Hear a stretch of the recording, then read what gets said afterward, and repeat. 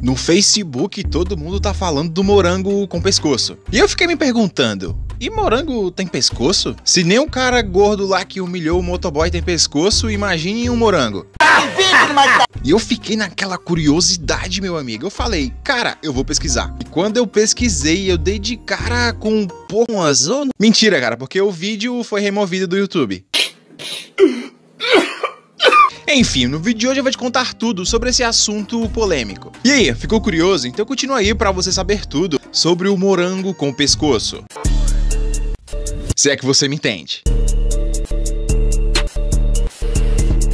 Fala seus virgens, tá começando mais um vídeo pra você aqui no meu canal. Aleluia! Seguinte, mano, vai deixando seu like, porque se você deixar o like, a sua mãe vai te dar 20 reais. Passando aqui pra avisar que a minha mãe não me deu os 20 reais. Já se inscreve aqui no canal, porque é de graça e não custa nada. Então, bora pro vídeo.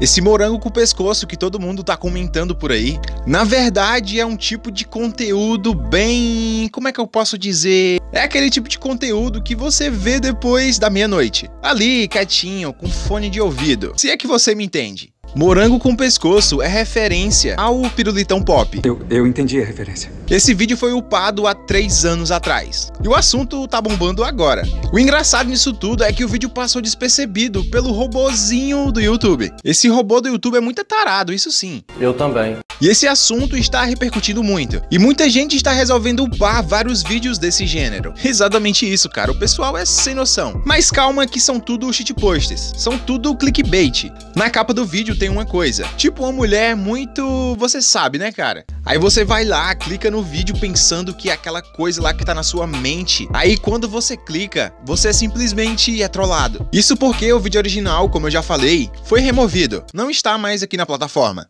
Você tá falando sério?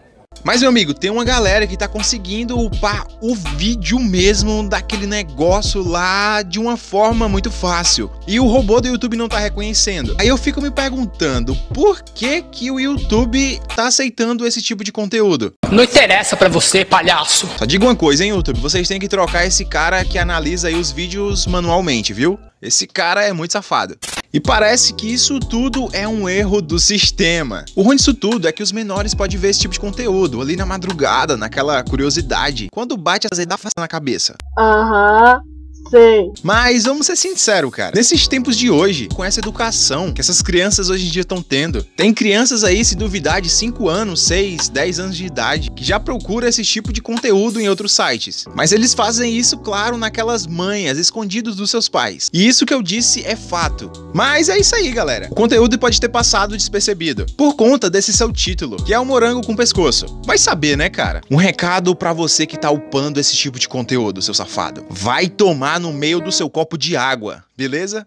Enfim, galera, o que você achou desse vídeo? O que você achou do morango com pescoço? Gostou do morangão com pescoço, hein? Gostou? Enfim, comenta aí, quero ver seu comentário. Ainda vou deixar um lindo coração junto com um salve pra você. Ah, e me manda sugestão de vídeo lá no meu direct, no meu Instagram.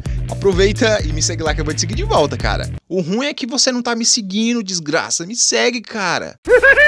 E se você gosta desse tipo de conteúdo, se inscreve aqui no canal, cara. Não custa nada, é de graça. Eu vou ficando por aqui e eu te espero no próximo vídeo.